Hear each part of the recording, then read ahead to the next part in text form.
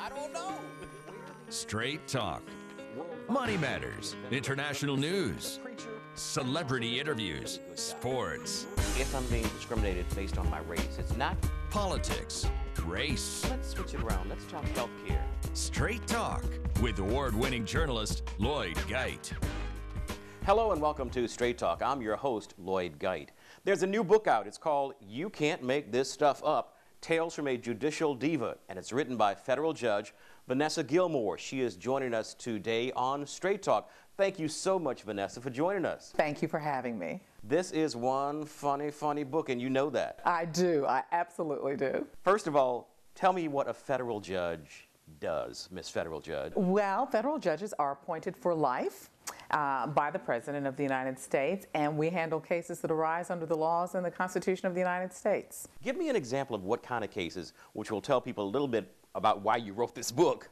Well, we handle criminal cases, we handle civil cases. Uh, I'm probably best known for handling many of the Enron trials that were held here in Houston a few years back. And we do bankruptcy, Social Security, just a variety of things that fall under federal law.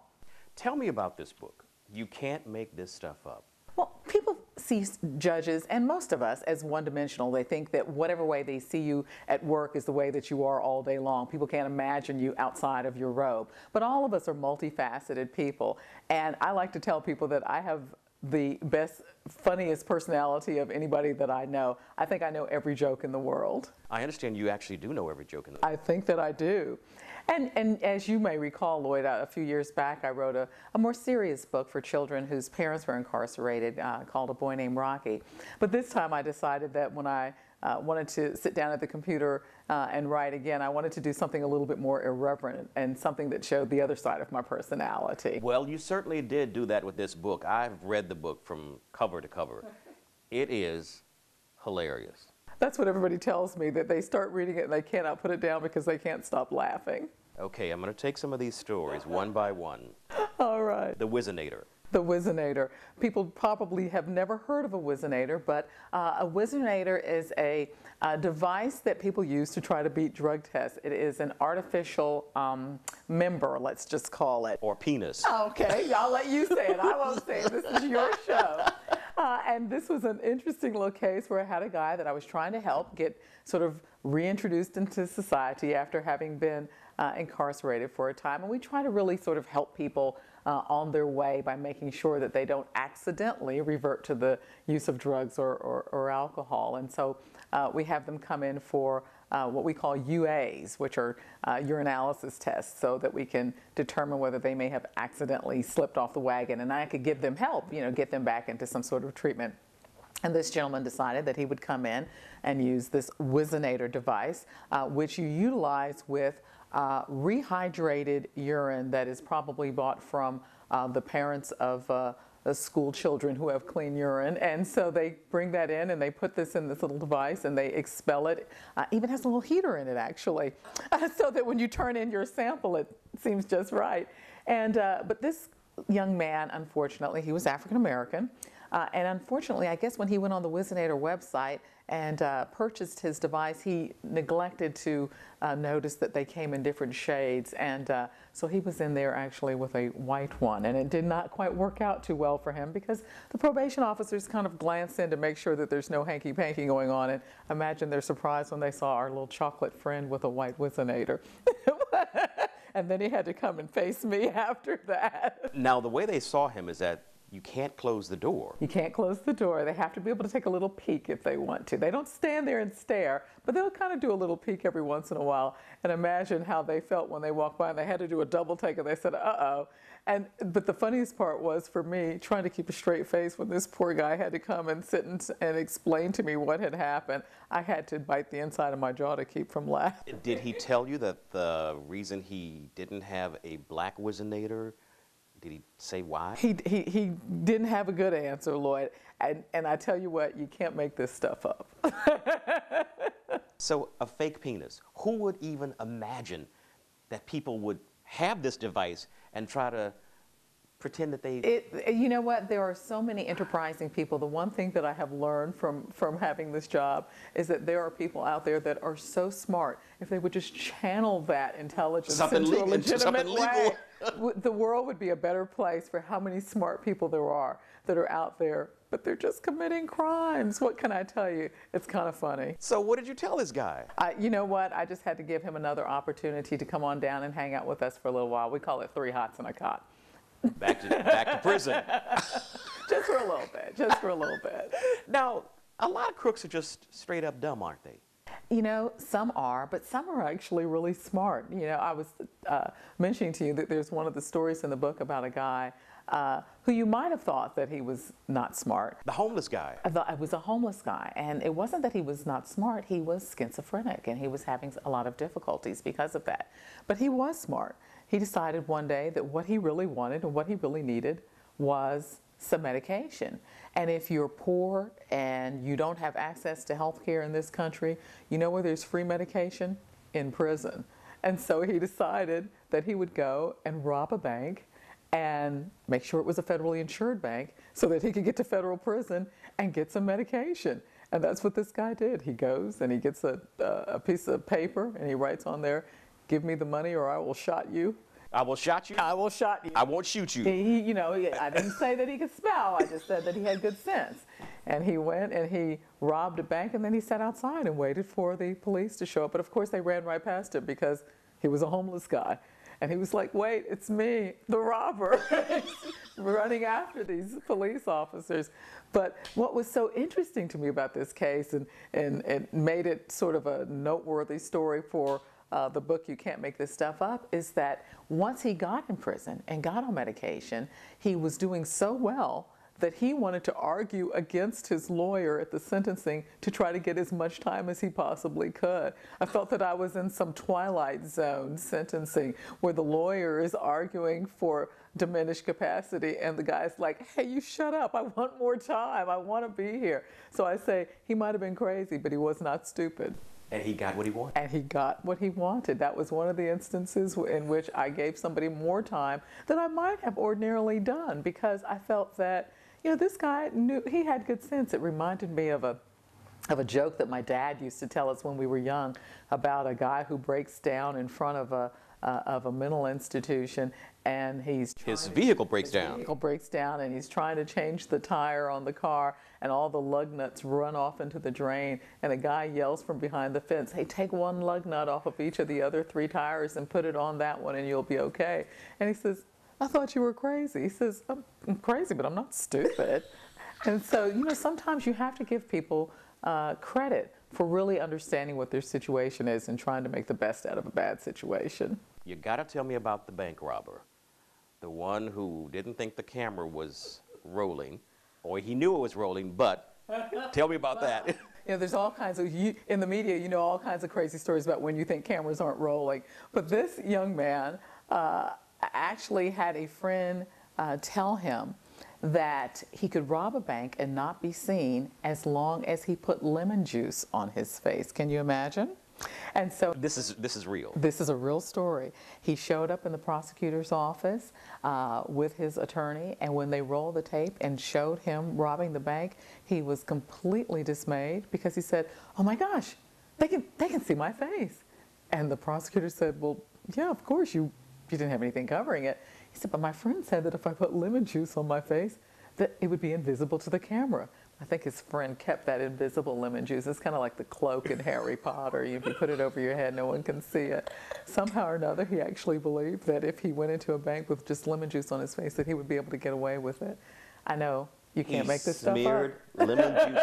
He smeared lemon juice on his face. Absolutely. He thought that would hide him from the camera. That he thought that would hide him from the camera. And I know you don't believe me, but I'm telling you, Lloyd, you can't make this stuff up. For so many years, I've told my friends these crazy stories, and every time I would tell somebody one of these stories, You're making this up. They would say, You're making this up. This isn't true. I'd say, No, really, you can't make this stuff up. And then they would say, you should write a book about this.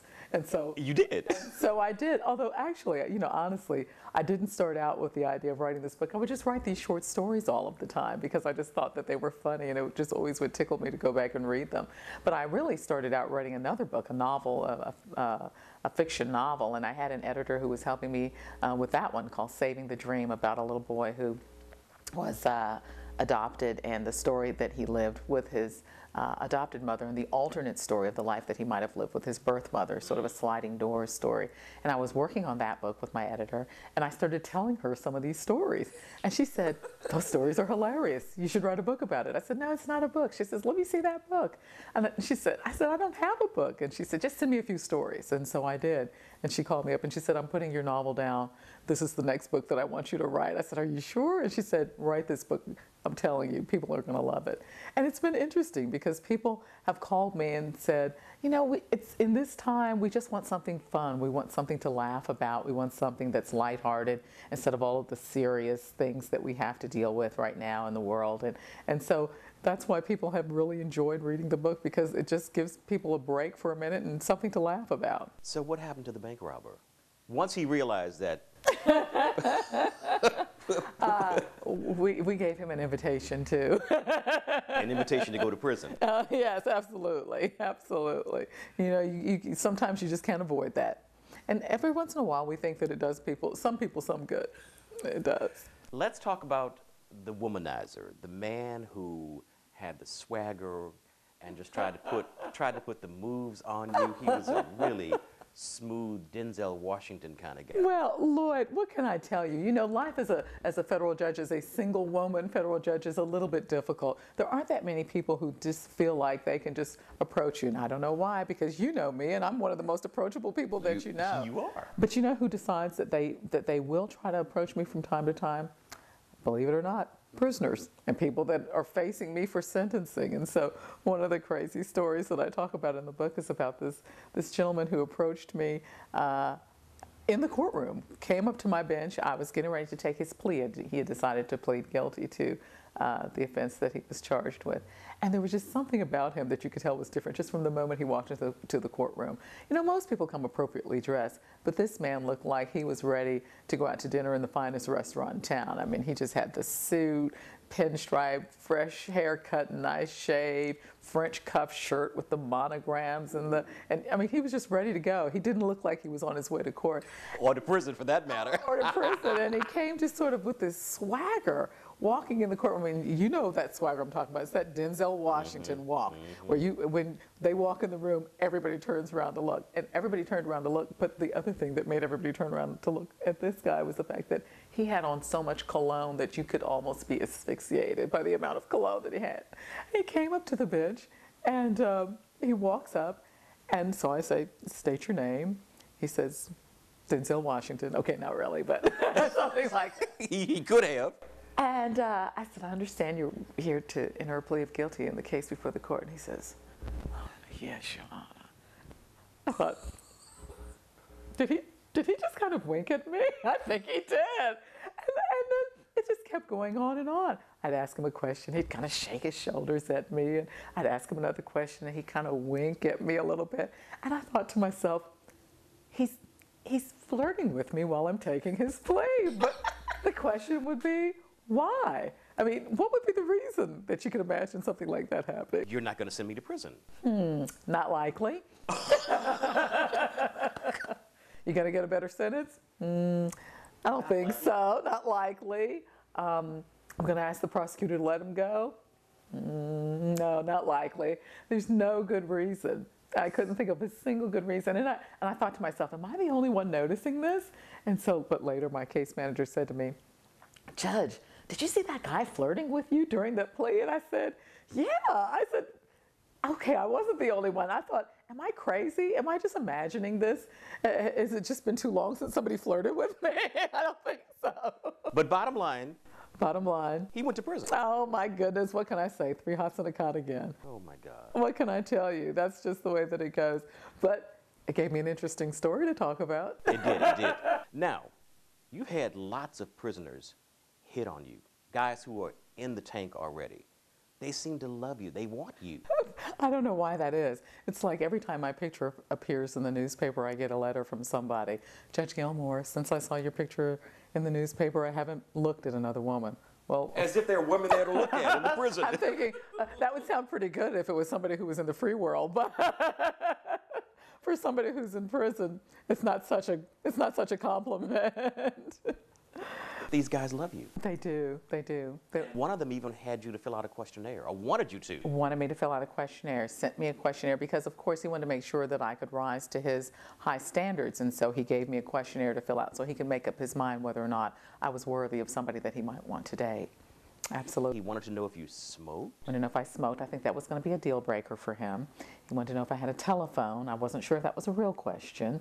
Um, my favorite color and my favorite movie, and just, you know, the kinds of things that people would generally uh, want to know about each other as they were getting to know each other. But he sent it to me in a questionnaire form. Did you respond to this prisoner? Uh, I did not, but I saved the questionnaire because I thought that it was quite clever. But you've had people to draw stuff and send you things. all kinds of things. That there was one gentleman, somehow or another, uh, you know, in, in some publication, it must have listed where I went to church. And so this gentleman, instead of sending me things to the courthouse, for years he sent me little cards uh, to Wheeler Avenue Baptist Church. Uh, and the ladies over there, the first couple of times they opened the envelopes and then they wrote me a little note that said, uh, opened by mistake. Sorry, this must be some mail for you. Uh, but then for years, he continued to send me hand drawn and hand painted, very, very good artist, hand painted cards uh, to Wheeler Avenue. And somehow or another, the ladies always managed to accidentally opened those. And, and before they sent them on to me, I think they were trying to figure out whether or not we were having a little love affair there, uh, but, which presumably, uh, if I was, I would have given him my real address. But in any event, they decided that they would see how things were going with us. But he just kept writing me. And finally, I think after uh, he uh, wrote me and told me that he was getting out and he was hoping that I would acknowledge and, and uh, so that he would have an opportunity to come and visit. And when I never did give him an acknowledgement, that was, alas, the end of my beautiful cards. what can I tell you? But you know, if you want a man, I was going to say they're out there, but actually they're in there. They're in there. There are lots of them looking for people to write to. And uh, somehow or another, I've, I've made the list. I understand that my picture is actually pinned up in a couple of prisons. Uh, I don't know. I don't want to know what they're doing with my picture, but I do understand that my, my, they're either throwing darts at it or something else. But in any event, I understand from at least one or two prisoners that I'm the pinup girl in a couple of places. Now, briefly tell me about the rap artist. Oh my goodness! I can't believe you remember that story. It's just it was so funny because you know when you when you uh, have somebody who's in there for sentencing, uh, they have an opportunity to speak to say something on their own behalf because. Um, you know, I keep an open mind and I want to hear from people I want to understand what was going on with them. It helps me and it influences me in terms of the decision making process. Uh, but this one gentleman decided, I guess, for whatever reason, that the best way to reach me uh, was to write a rap song in my honor and to perform it in the courtroom uh, at his sentencing uh, to try to uh, see if that might uh, Sway you. sway me in some way. It, it was rather interesting. He told me he had already filed it at the Library of Congress, and he wanted to let me know that it was there. And uh, the uh, chorus of it was uh, Vanessa Gilmore was my judge in my federal case. She said, You got drama in your life, get out of my face. With the beat. I, we were all kind of perplexed. I didn't quite know what to do. I wasn't sure if I should clap or get down off the bench and give him a high five or a fist bump or just kind of sit there. And so finally he told me that he was finished and he gave me a copy of the song, which I kept. And uh, I've uh, included a, a copy of it in the book. but I want to say to anybody who's listening, don't try that. Not a good idea. So he went off to prison. he had to go. He had to go. It's sad to say. Sad to say. Um, you're something else. You, I mean, this book is just absolutely hilarious. You know, I have more fun, Lloyd, than I think anybody that I know. I have a great job. I get to be intellectually stimulated, but I also get to let my personality come out as well. By day, you're a federal judge, but you also get out into the community. Have you run into people that you've actually sentenced who are now in the free world? I have on a couple of occasions, and it's it's uh, an interesting experience. But most of the time, I think that uh, it doesn't bother me at all. uh, because I treat people with dignity and respect. And uh, when you smile at people uh, and try to treat them well, I think that they really can appreciate the fact that uh, you're just doing what you have to do. Uh, and that they understand the consequences of their actions. But I have run into a few people from time to time. It's not scary?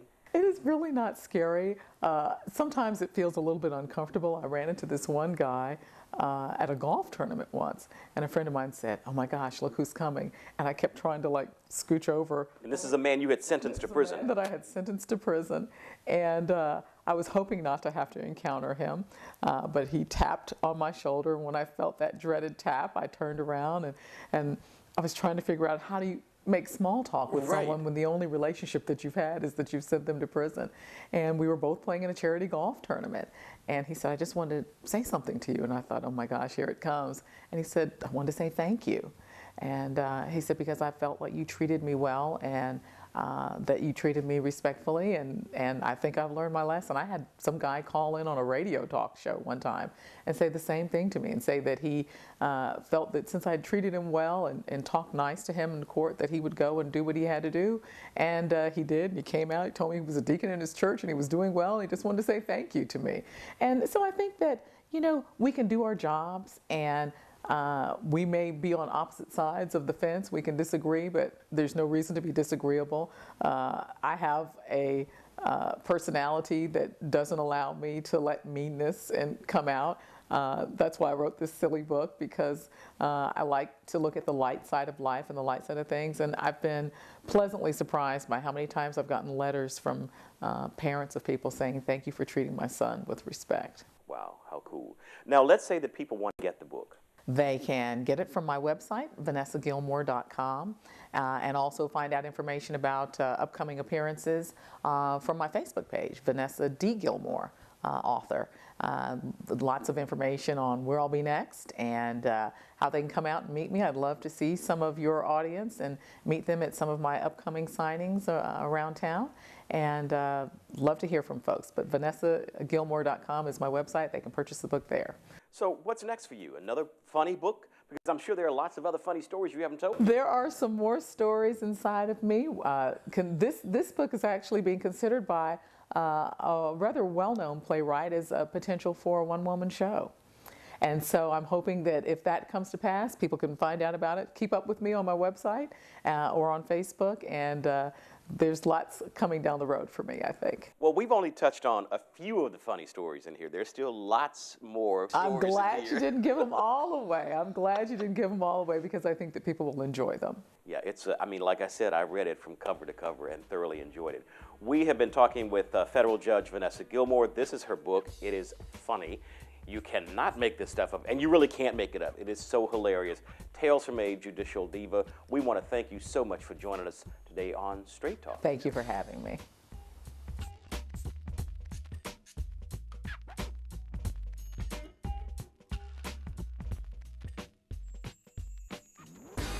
Straight Talk with award winning journalist Lloyd Gite.